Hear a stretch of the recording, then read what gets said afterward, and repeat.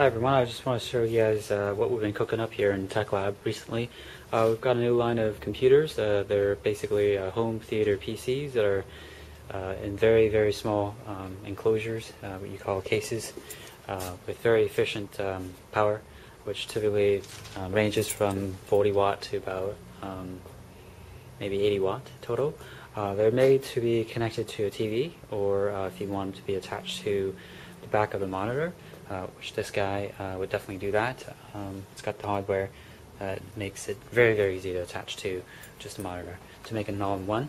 Uh, here I have a computer um, or computer that we built um, specifically for uh, TV, and it is now attached to a TV, being displayed at our shop um, as a uh, as an Echo.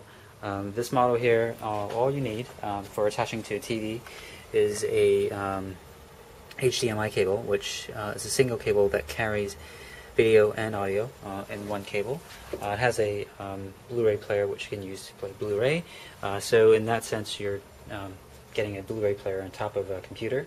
And also, so um, because it is a computer, and when you attach the computer to a TV, the TV makes it to be uh, makes it a monitor, which you can use, of course, to serve the web or um, do whatever you wish on the computer.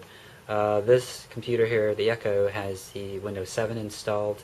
Uh, you could have, um, you know, XP. You can have whatever the operating system that you like, including Linux. It also has an XBMC uh, media player, which you can use to play uh, movies and um, just about in any format uh, that you wish.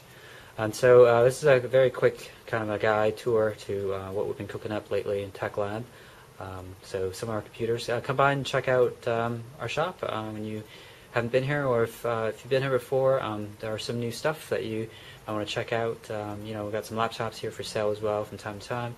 So um, thanks for watching.